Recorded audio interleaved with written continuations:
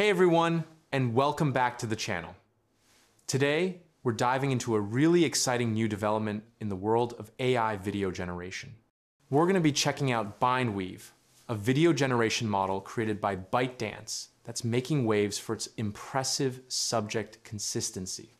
What does subject consistency mean?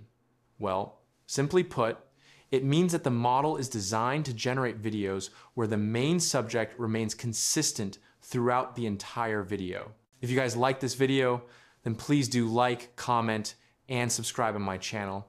It would be much appreciated. Bindweave ensures that the face in the generated video closely matches the input image you provide. This opens up possibilities for creating realistic and believable videos. Let's head over to the GitHub page to get a better look at what Bindweave can do. On their GitHub, you'll find various examples showcasing the model's capabilities. You can see how it performs with a single human subject, generating videos where the person's appearance remains remarkably consistent, even with changes in pose, lighting, or background. What's even more impressive is that Bindweave can handle multiple consistent images within a single video. For example, they demonstrate scenarios with several people, ensuring that each individual's facial features remain distinct and consistent throughout the generated video.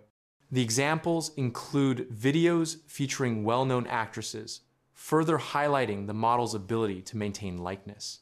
Beyond just humans, Bindweave can also maintain consistency for other objects, making it versatile for a wide range of video generation tasks.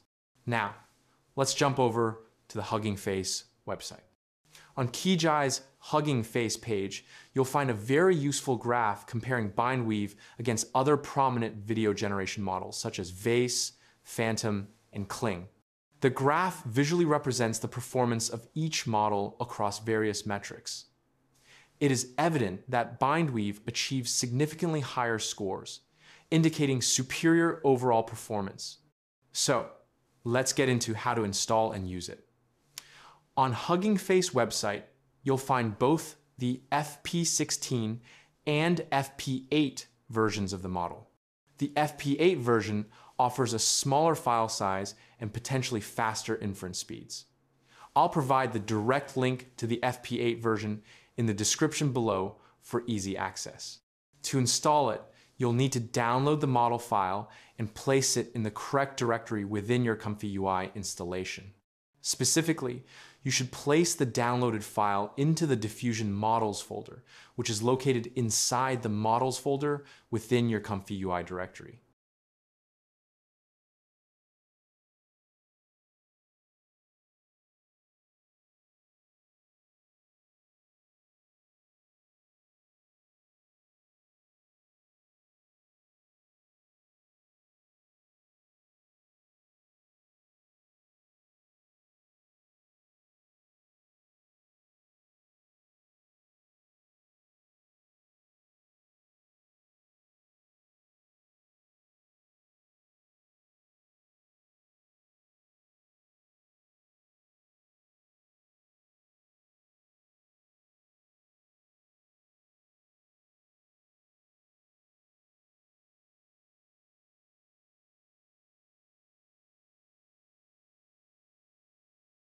For our next example, we'll be using a different reference image of a woman.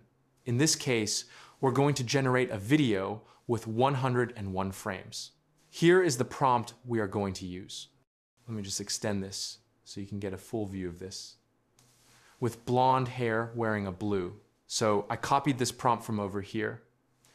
And exactly. So in this example, the pink tank top wasn't there fully. But another example, ethos. I don't know why in this one. She isn't wearing the blue tank top, as I said. She's wearing the normal clothes. But the face, as you can see, is very consistent. She looks like this image right over here. And everything else, even the locket and bracelet on her hand, are very similar. So see around her neck? It's the same necklace she's wearing. So the detail is very, very good in this. So we're going to choose the same prompt and we just want to use UniPC for the next example.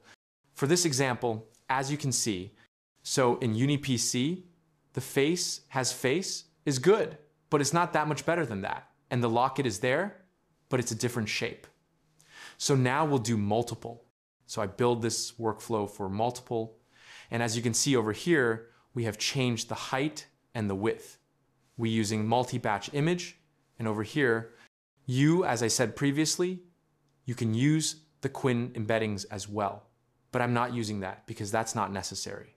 I think so using the same model and yours, the prompt that we're gonna take in this one. So even this, I copied from the examples on the GitHub page, okay? Light gray sofa and everything else. We using DPM++ SD and six steps eight shift in this one.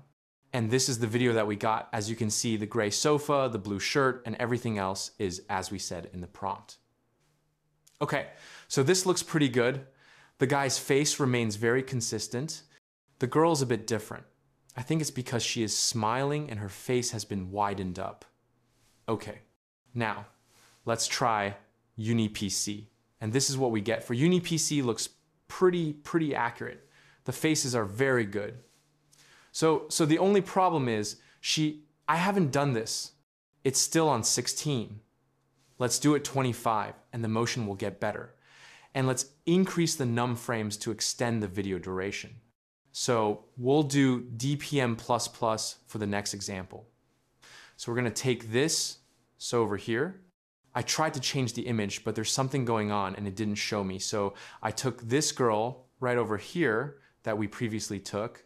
So this is the prompt. Let me show you guys the prompt, taking selfie together in those settings, holding the smartphone in the right hand and everything. Okay, you can just pause and read the whole text if you want. Let me just close it at six steps DPM++. And I think DPM++ is the best setting in this one.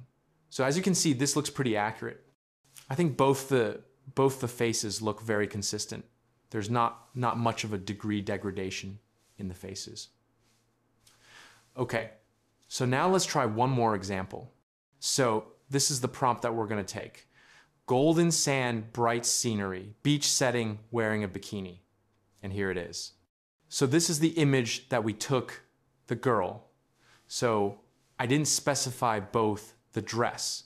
So in my text from I didn't specify the right girl wearing a bikini or something. So she's wearing the stock normal dress or the shirt in the reference image. So this girl's wearing a bikini, like I said. So guys, let's end this video right over here. If you guys like this video, then please do like, comment, and subscribe on my channel. It would be much appreciated. Thank you guys for watching. Peace.